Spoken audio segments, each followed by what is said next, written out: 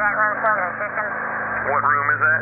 If it's, if it's the room right above him, uh, it should be 209.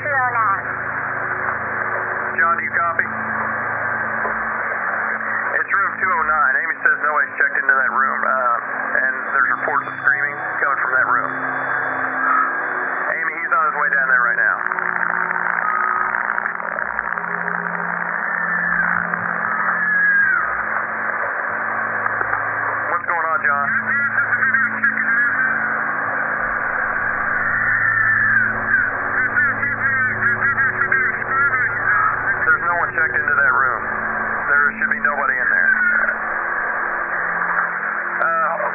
second, John. Amy, are you there?